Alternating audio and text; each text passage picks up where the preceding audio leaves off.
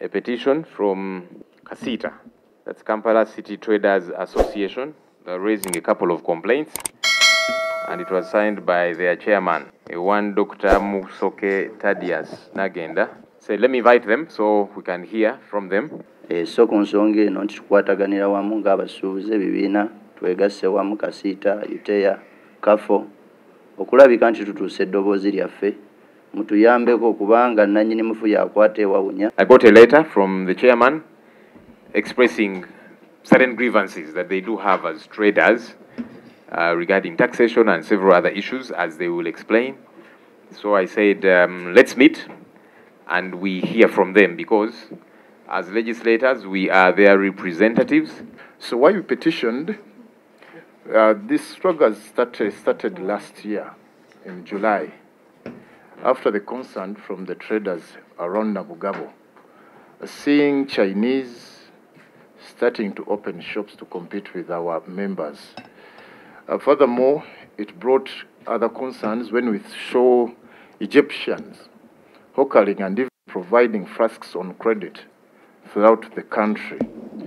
So when we went and engaged the Chinese, that's when we heard that already they have set up a factory in Mbale. So we got a group of leadership in the business community and toured the facility in Mbale. So when we reached there, the fact is we saw that there are certain processes uh, which are being done on some textiles, uh, like jeans. Uh, later, we discovered uh, that most of the raw materials is, is being imported in Uganda. But with information we had got, they had told us that they process cotton and make textiles here locally, but it was a false. Uh, so through those engagements, we advised them that uh, we, the traders, we are willing to buy from them on condition they don't hawker and then even start distributing the gin throughout the country because it creates direct competition within our members and them. Uh, so they agreed, but unfortunately, what is happening currently in Nabugabo, they hired even hawkers now, so they are putting gins even on the street. So you find that I think they have a strategy of killing our businesses. And uh, when we try to address the Ministry of Trade, it's like we, as leaders in the traders, we are not contented with the way the Ministry of Trade executes its mandate. It's like I, I'm sorry to use the word, it's almost useless to that extent. So maybe the team which is there already is compromised, or maybe they hate traders, but we think they haven't done enough. So this one has taken almost enough, enough, enough, uh, some good months since July last year. So even they have a petition, but you can you can imagine even they have never invited us to discuss uh, such. Uh, furthermore, it's almost now three years when again we engaged the Minister of Finance about the concern on the taxes on textiles and garments. When they introduced the kilo system of 3.5, I think it was a strategy of totally uh, discouraging us from importation. No one can pay taxes using this system and you can survive in business. So we had arguments like there is no way someone who is dealing in, in garments, where you have now to sell clothes using the kilo measuring scale system, totally that was impossible. Uh, furthermore, they advised that uh, within the East African community, they had agreed to promote local manufacturing industries, that they can adopt the 30 percent. But when we when we sent a team uh, to when we sent a team to Kenya, we discovered that Kenya is charging 25 percent, and then Kenya doesn't imply the withholding tax of six percent. Uh, secondly, uh, the VAT in Kenya is 16, not 18. Uh, so what has it impacted to our members? By the time we reach a container here, we have paid 20, uh, 24, that is uh, 18, and six uh, and the six, and then the thirty-five. Sincerely, you cannot sell any cloth and you remain with a small anything, anything like a profit. Uh, so before we could maneuver and you try to to to to to, to find other avenues, but we decided let us go clean, let us meet our tax obligation. So what has happened? That our customers who used to come from Rwanda uh, some by even Kenya, uh, some from Congo and South Sudan have totally diverted and almost we have donated the market to Kenya because you cannot compete with the Kenyan when you even you imported from China. So the dollars, the, all the money which we could at least make the business, our community a little bit healthier, it has been diverted to, to Kenya. So we think that the government misfired on this because it could enable Musoke bring like 10 containers, but now we feed it even with one container. So, in logically, they would have collected more taxes if the taxes were flexible, because the demand could be bigger. Secondly, it could avail with more varieties on the market. For instance, uh, if Nytil produces a shirt and also we import from Turkey, from China, these Congolese, they, they love style. So even they can have, they could take more, more, more, more pieces. So it could boost business. But you find uh, that the government has been so reluctant uh, to handle uh, that challenge. The third, the third concern was about the unfair implementation of EFRIS system. Uh, with the a lot of enforcement with less sensitization and given not considering the digital adoption and ability of our members who are a little bit uh, uh, illiterate. Because we, thought that the, the Uganda Revenue Authority could for the meantime stop being harsh and forcefully implementing this system to our traders who have a very great negative attitude towards the system.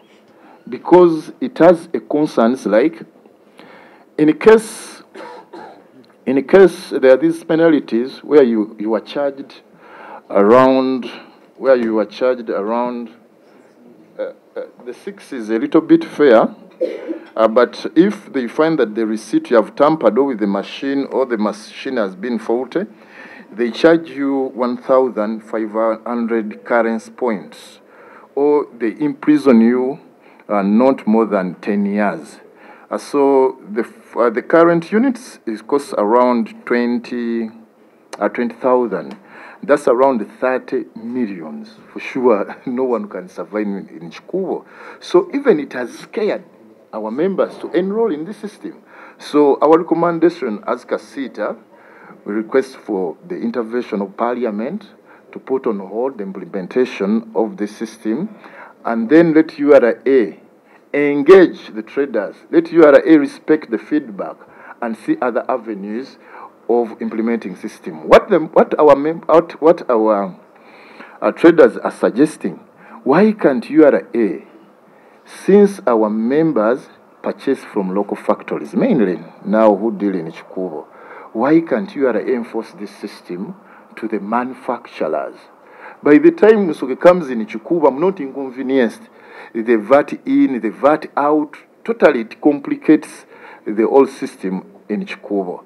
And then furthermore, there is that unfair unfair competition. I think in my submission I presented it within the, the East African countries when I was submitting the other side, but mainly mainly, I think even which we didn't even hear, uh, when, which wasn't captured my, by my team, was another challenge of the, the recovery fund, uh, which the parliament approved. Uh, it was somehow a very good strategy because the, the problem which we are facing currently that most of our members are closing businesses because of the COVID 19 effects. Uh, banks are auctioning their properties, they can no longer meet their bank obligations because the recovery fund had a system whereby you can access these loans at a very flexible rate, around 10 to 12. So they give you a recovery period of one year. You are able to clear the other loan areas and even stabilize or start something which can enable you in future to start clearing this loan. But we have tried to, get, to engage Bank of Uganda, we have tried to engage Ministry of Finance, we have engaged all banking institutions, but I've never seen a single trader who has accessed that fund. So it's terrible there downtown. Businesses are in a very tricky situation where your intervention will be highly respected. Want to appreciate the traders who have come to bring a petition to us here at Parliament because they've got concerns, and these are critical concerns that have got to be listened to. We are going to push through this petition with the leadership of Parliament, and generally, our hope is that our colleagues on the other side will, will listen. Sometimes they they pride themselves in the numbers that they do have, but it's not about politics, yeah? These are critical issues that are affecting traders, and we must be able to listen to them every step of the way. They are raising critical concern. Foreigners that have saturated the market, they are doing, you know, retail trade, hawking, and, and so on, and they're saying, but wait a minute, in other countries it does not happen. So they're out of business because their space is being occupied. And we are not saying foreigners should not come to our country, but we've got to regulate all of these different issues.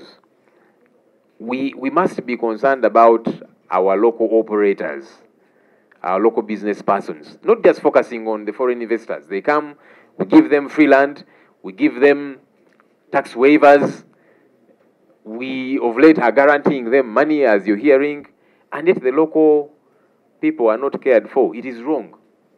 There's no country that does that. I don't know why we do that. We must be different. We'd like to call on URA. Yes, you're doing all you can to hit your targets, but these people are saying they they are not on the same page with you. This EFRIS system, the electronic fiscal receipting and invoicing solution, they're saying they don't understand it. They're saying it is complicating matters for them. They've got to have smartphones, they've got to have internet, and all of these things. You see, one of the critical canons in tax collection, you've got to make it easy for people to pay taxes. When you make it hard, they will evade the taxes, they will not pay. So we are calling on URA, as much as you can, keep engaging these people, even if it means meeting them every week, because these are your partners, they are stakeholders. Give them attention. The other day I saw there was a meeting I don't know how often those meetings happen. You can't meet them once in a blue moon and move, and you just want to enforce. Listen to them. They are raising these critical concerns. Address their concerns. That way, you'll be on the same page. We we keep hearing of people being exempted. Investors, there's proposals to invest to exempt them from certain taxes, stamp duty, and others. There's proposed tax waivers. We keep asking Ministry of Finance, give us a list of waiver you want to to waive taxes from businesses and the criteria you used. Because they keep saying some of these businesses and these business persons are heavily indebted. If we don't waive their taxes, their businesses are going to crumble. These people are indebted too. They've gotten loans from banks. What's good for the goods should be good for the gander. Gold exporters, they, I mean, they're not bothered. They don't pay taxes, billions of shillings, and we understand there's a directive to say, leave them alone. But why? Is it because, as we hear, it is actually government people that are, you know, doing this uh, gold exportation, so they don't want to pay taxes? That it is probably family members who are connected to powerful people in this country? Because otherwise, these things do not make sense. Ultimately, ladies and gentlemen, we need to, number one, fight corruption robustly, not just talking about it we lose a lot of money to it because now URA is struggling because it's got to avail money for service delivery and so on. That's why they will dig deeper and deeper and deeper with all these new taxes, with all these heavy, high handed enforcements. But you see, as a country, if we fight corruption, to which we lose over 10 trillion shillings a year, and we save that money. We'll not be burdening Ugandan taxpayers further. So we know what to do to save money. Let's cut down the wastages. Sometimes you see wastage of untold proportion. Let's deal with these issues.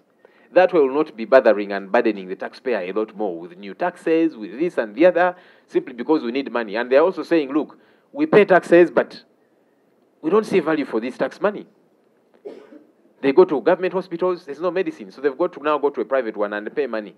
So they're paying taxes, the little that's left with them, they take it to a private school for their child, a private hospital, the roads are in bad shape. We need to fix these things. You know, there are countries where people pay up to 50 or even 60% of their income in tax. But they don't complain so much because there is service delivery. It's a different situation here. That's why people are up in arms. They're saying, we pay our taxes, heavy taxes, but there's no service delivery. Why are we paying the taxes? Want to appreciate the traders who are out there protesting. Some have closed their shops and so on. It's your right to peacefully air out your concerns. And our hope is that police, as we have been hearing, they're trying to force people, um, going through some operatives, open your shops and so on. It's their right to air out their concerns peacefully and within the law. Finally, as we have said severally, a sinking boat, a sinking boat affects everybody. And that's the situation we are grappling with. When we talk about these situations, some people think we are simply politicking. No, you'll all be affected. And somebody was saying, you see, some of those traders, when we are raising these concerns, they say, ah, this doesn't concern us. Well, it might not be all of them. Uh, maybe some are the ones that have that attitude, but everybody will be affected. It will come to your doorstep. Everybody will be affected. So let's join hands to see to it that we fix these challenges, these leadership challenges that we do have. That's where it stems from. And that way, our country will get better. So we're going to receive the petition and uh, we are going to push it through for it to be discussed.